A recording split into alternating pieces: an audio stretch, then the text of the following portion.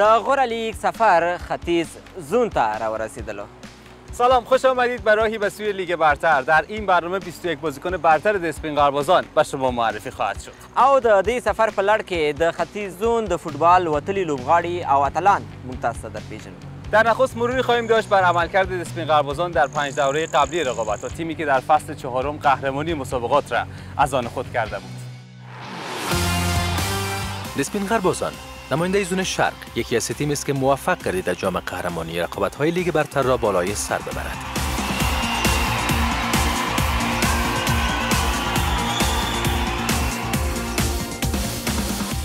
نسبین غربازان به عنوان مدافع عنوان قهرمانی با تیم‌های های آمو، سیمرغ البارز با اقبان هندوکاش در یک گروه قرار گرفت. تیم پوش فوتبال افغانستان در بازی افتتاحیه با سیمون روبرو شد و در یکی از بازی های تماشایی و خاطر انگیز با این تیم به مساوی دو بر دو دست یافت.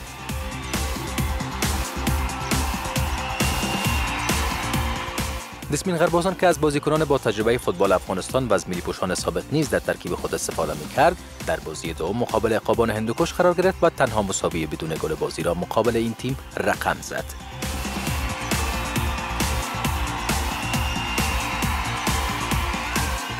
دو بازی و دو امتیاز شرایط صعود قهرمان دوره قبلی بازی ها را به مرحله بعدی پنجمین فصل لیگ برتر افغانستان با مشکل مواجه ساخت این تیم در آخرین بازی مرحله گروهی به مساف موجهای آمو رفت و در شرایطی که برای صعود نیاز به پیروزی مقابل نماینده زون شمال شرق داشت با نتیجه دو بر صفر بازی را به حریف خود واگذار کرد و با دو امتیاز در جایگاه آخر گروه دوم بازی ها قرار گرفت تا هم نتواند از عنوان قهرمانی خود دفاع نماید و هم به وداع تلخ با لیگ برتر افغانستان در سال 95 داشته باشد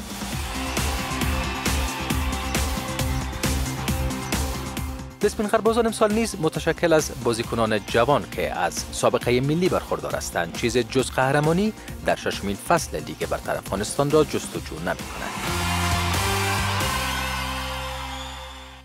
د ختیځ زون د سیمویزو سیالیو په لړ کې پنځه لوبډلې د یو بل په وړاندې د سیالۍ ډګر ته وتلې تر څو د سپین غربازانو د لوبډلې لپاره غوره لوبغاړي د همدې سیالیو څخه په ډاګه شي د دې سیالیو لړۍ ته یو لنډ نظر اچوو مسابقات منطقوی زون شرق مرور بازی ها بازی های زون شرق فوتبال کشور برای مشخص شدن قهرمان این زون و همچنین انتخاب 21 کنه برتر از تاریخ 23 جوزا در استادیوم فوتبال ننگرهار برگزار گردید.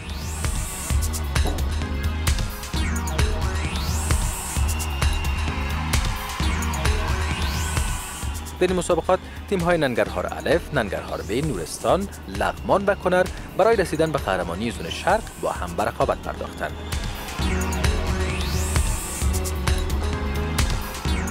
با تصمیم مسئولین برگزاری مسابقات و هیئت تکنیکی فدراسیون فوتبال کشور های حاضر در بازی ها در دو گروه قرار گرفتند گروه اول ننگرهار الف ننگرهار بی، کنر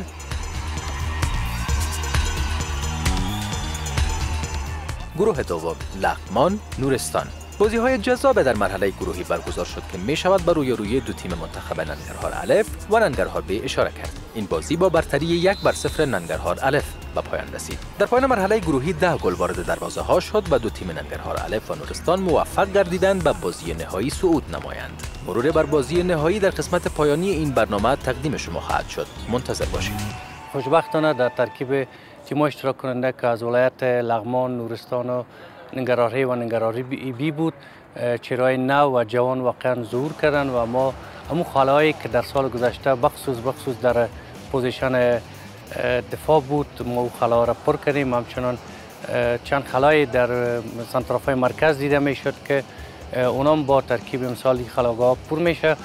با ترکیب که امسال ما داریم با یقین کامل میتونیم بگوییم یکی از تیمای بهترین های ما در لیک برتر برای ششمین دور از این مسابقات خود بود که در لقابت های امسال ما ارزو داریم بتانه یکی از تیمای بهترین برای مسابقات حضور داشته باشه از این قسمت از برنامه به معرفی بهترین های زون شرق فوتبال افغانستان خواهیم پرداخت در نخست بهترین دروازبان رقابت های تورنمنت زون شرق فوتبال کشور این بسته تصویر را با هم می‌بینیم.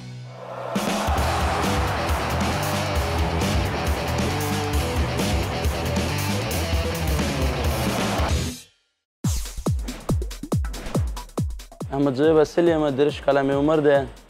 او ګل ساتونکی یم سخل به ډېر خوشحاله یم چې سپین غر بازان ته انتخاب شوم پنځلس کلن ولم چې اول مې مکتب کې فوټبال شروع کړلو همغسې رو رو بس کور والا هم تشویق کړم ډېر زیات مشر ورور مې هغې فوټبال کولو بس یو ورځ همداسې مکتب کې موږ د هغې خپل ټیم ولو بس هغې راته ویلې چې راځه داسې موږ سره کس یو کم د فوټبال شوق بس همغه ورځ ولو چې شوق مې پیدا شول نو ورور مې هم تشویق کولم او پلار مې هم ډېر زیات تشویق کړي دې ټیمونو کې مې فوټبال کړی دی همدغسې اووه کاله کېږي چې ننګرهار کې مې فوټبال کړی دی په پاکستان کې به مې فوټبال کړی دی او سپین غر بازان کې مې دا څلورم کال دی چې انشاءالله انتخابېږم او همدغسې یو تجربه یو سفر مې د ټیم ملي هم وهلی دی یو ګولکیپر باید د دار ځینه پوره یعنې ښه فزیک ولري چست اوسي توپ ته باید ډېر متوجه اوسي چې کوم څه توپ را روان دی نه را روان خپل میدان باید کنټرول وساتي د خپل نه غیر لس کسانو باندې په ټیم کې دی باید تر فارورډه پورې دا باید غږ پرې وکړي چې یعنی کوم ځای ته لاړ شې کوم ځای ته لاړ نه شې مقصد ډیر ویښ اوسې ډیر یعنی هوښیار اوسې په ګول کې زما پیغام به همدا یي خلکو ته چې ورزش شروع کړي ورزش دغسې یو رشته ده چې د دې نشې شیان نه به دې لرې ساتي او یو ډیر ښه صحت به درکړي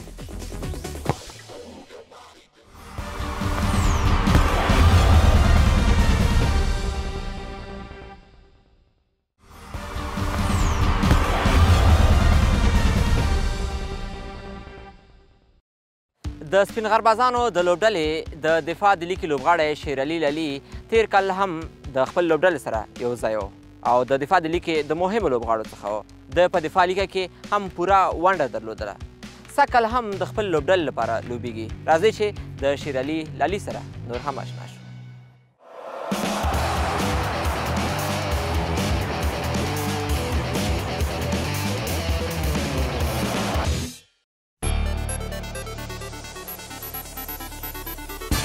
شیرعلي لالي ما یو تن لوبغاړی شل کلن د سپین غربادانو د ټیم لپاره مې لار پیدا کړه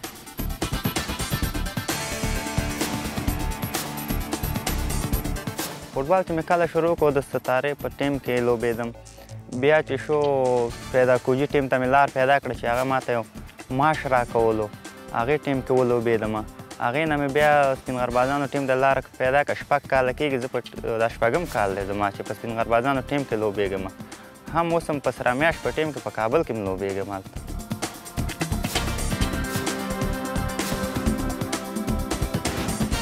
سږ کال زمونږ ټیم چې دی ډېر یو ښایسته ټیم جوړېږي زیاتره ښه ښه لوبغاړي راغلي همداسې د هرات ولایت نه همداسې د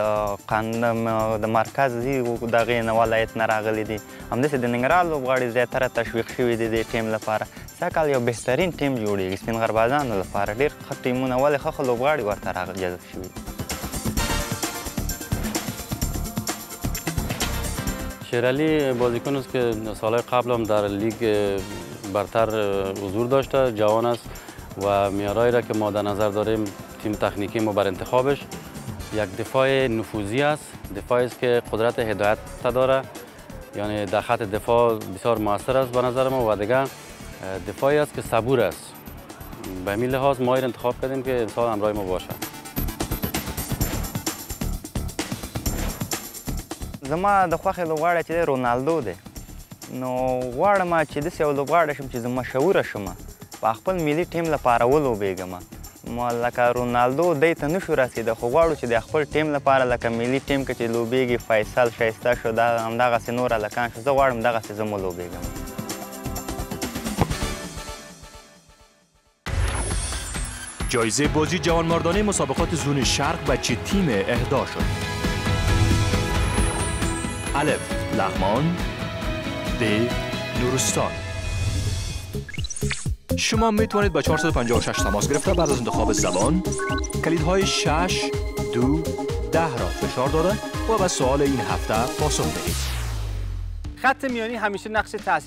در روند موفقیت تیم ها داشته است. سید خان یکی از بازیکنانی است که این فصل در خط میانی دسپین قوازان استفاده خواهد شد. از شما دعوت میکنم بسته تصویر این بازیکن را ببینید و با این بازیکن لیگ برتری بیشتر آشنا شوید.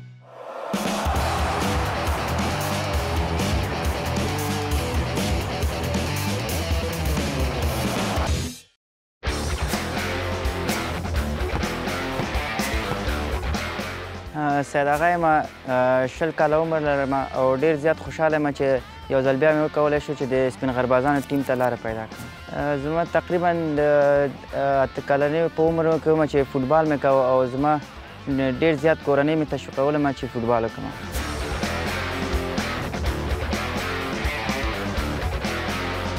پخوا درونټې ټیم کې وم یو څه مدت لپاره بیا راغلو د ستارې ټیم کې یو څه مدت تمرین وه لوبه مو کوه او اوس په الحال د درونټې ټیم کې فوټبال کوم انشاءالله چې سږ کال نورو کلونو په پرتله ډېر قوي ټیم یې ځکه چې د ډېر تکړه لوبغاړي د کابل څخه هم راغلي دي او نور نوي لوبغاړي هم زموږ سره شتون لري په دې میارای را که در قسمت انتخاب سید آقا ما در نظر گرفتیم البته پوزیشنش سنتراف چپ است که ما در او پوزیشن انتخابش کردیم یک بازیکن سرعتی است یک بازیکن است که میتونه به فارورد زیاد توپ ارسال کنه یعنی یک بازیکن است که باهوش است به مو لحاظی را ما انتخاب کردیم زما پیام ټول ورزشکاران ته دا ده چې راشي یو بل سره ماهنګ شي د نشي توکو څخه لاس واخلي د تعصب څخه لاس واخلي قوم پرستي پسې ونه ګرځي او راشي په خپل یو سمینار فضا کې خپل ورزش سرسره کړي د سپین غربازانو لوبډله د افغانستان غوره لیګ سیالیو په لړ کې په څلورم پړاو کې د اتلولۍ مقام ته ورسید او د دغه اتلولۍ په ترلاسه کولو سره د لوبغاړو پوره ونډه وه د برید دلی کې لوبغاړي په دغه سیالیو کې ګول وهنې ترسره کړلې فهیم افکار سږ کال بیا هم د خپل لوبډل سره لوبیږي ورزو د دغه لوبغاړي سره نور هم اشنا کیږو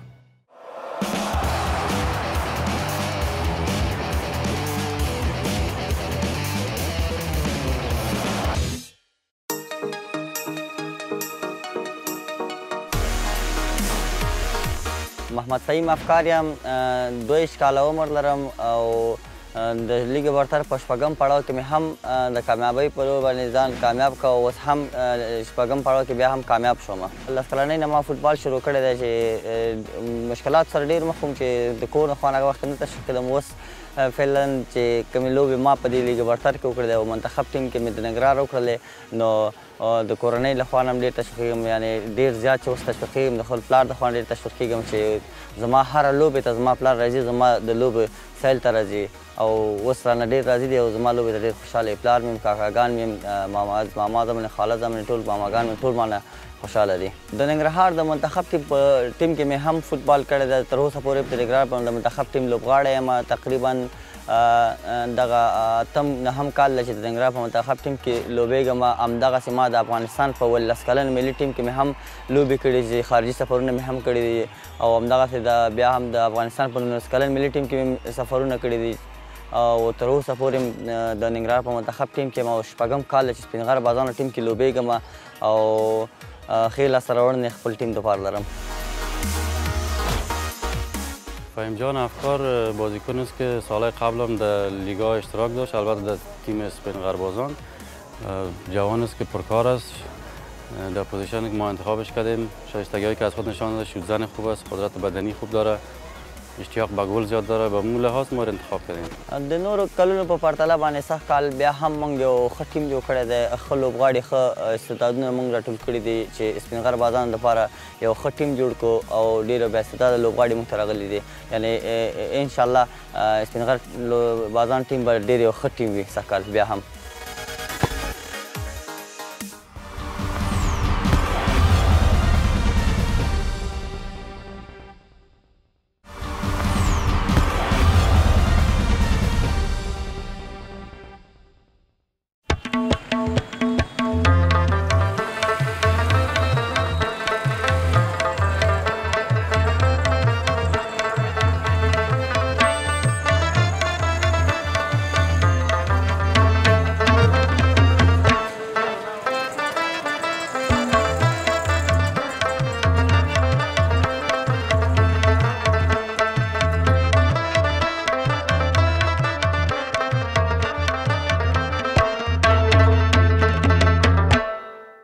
فصل ششم شاهد حضور پدیده هایی در ترکیب تیم های حاضر در لیگ برتر افغانستان خواهد بود این که پدیده دسپن قربازان کدام بازیکن هست را با هم در قسمت پیشرو میبینیم.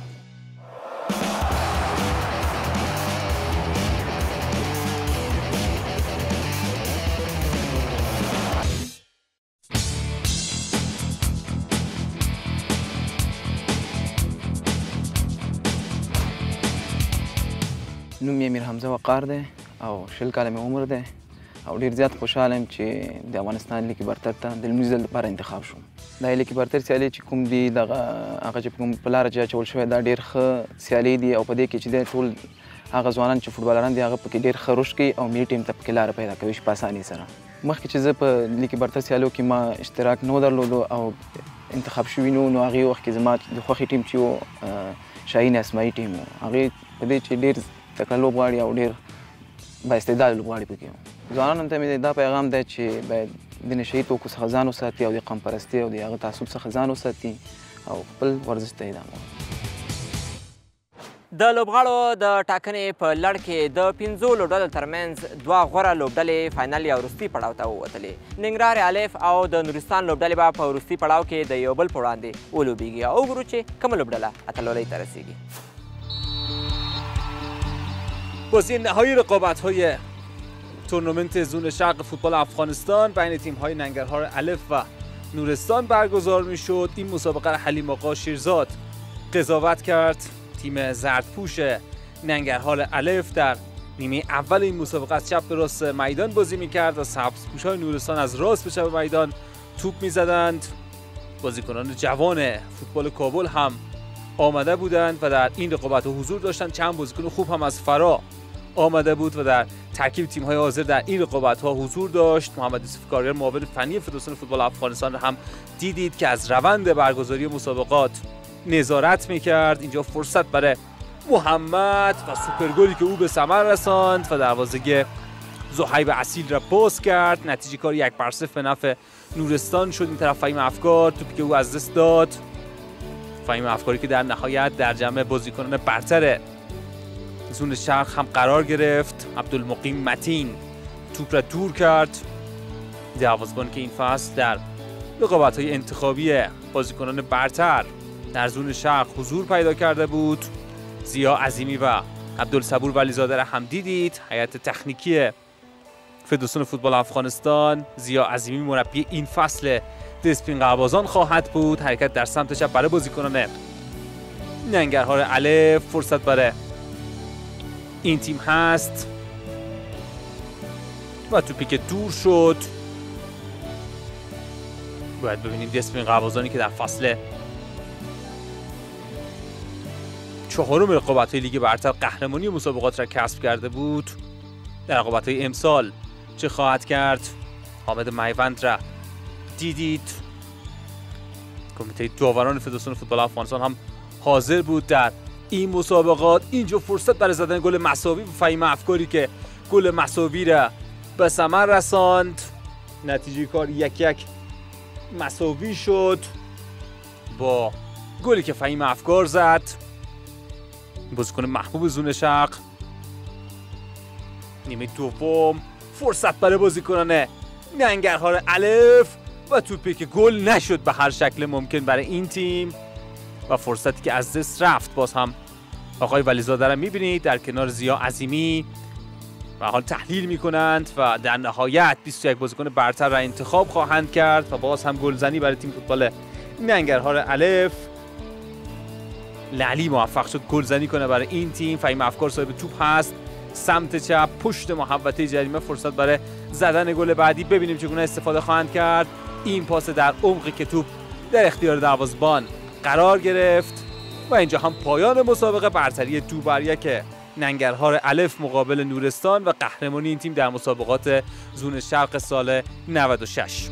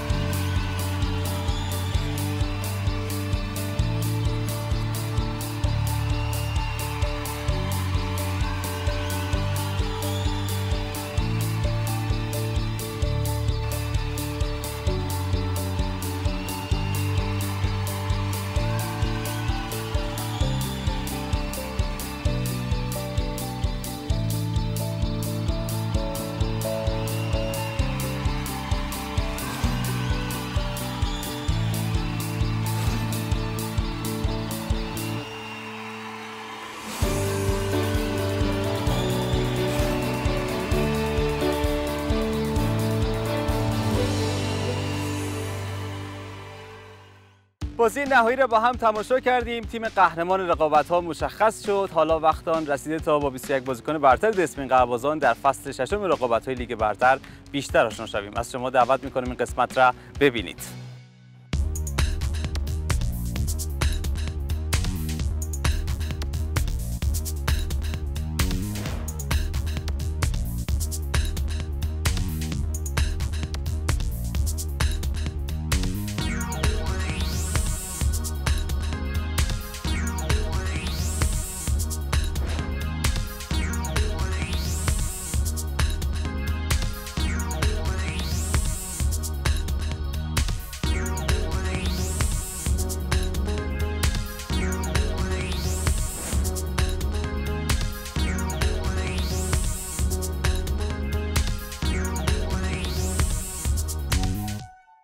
به انتهای برنامه رسیدیم رای بسوی لیگ برتر زون شاخ هم به پایان رسید او د دې سیالیو په لړ کې یوویشت غوره لوبغاړي د سپین غربازانو د لوبډلې لپاره انتخاب شول په دې هیله چې د خپرونې څخه لیدونکو خوند اخیستی وي تا برنامه دیگر و دیدار دیگر وقت شما بخیر خدا نگهدار